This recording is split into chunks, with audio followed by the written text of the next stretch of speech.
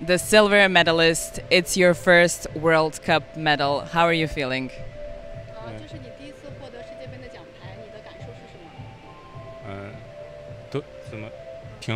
Uh, yes, okay. Okay. Okay.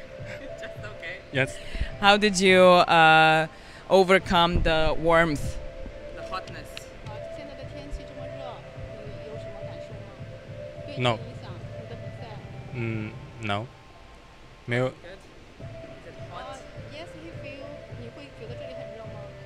Uh, yes. But you managed. Uh, Sorry?